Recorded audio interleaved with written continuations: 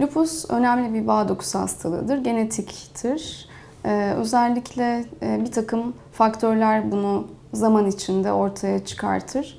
Özellikle bir takım enfeksiyonlar, e, sigara kullanımı, e, bir takım ilaçlar veya bir takım e, özellikle en önemlisi güneş hassasiyeti bu hastalığın ortaya çıkışı için önemli faktörlerdir.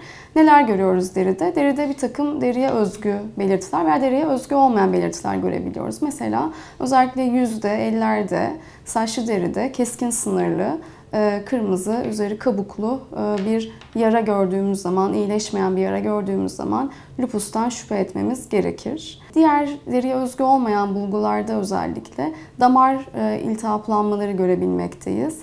Vaskülit dediğimiz, vaskülopati dediğimiz damar iltihaplanmalarını klinik olarak özellikle ağrılı, şiş yumrular şeklinde veya yine tırnak altlarında kanamalar, ee, gene soğuk hassasiyeti, güneşe karşı duyarlılık gibi bulgular görebiliyoruz. Lupus saçı dediğimiz bir saç dökülmesi olabilmekte. Özellikle ön e, frontal bölgede bir bant şeklinde bir saç dökülmesi olabiliyor. Ayrıca ağız içinde ülserler e, deride diğer görebileceğimiz bulgular arasındadır.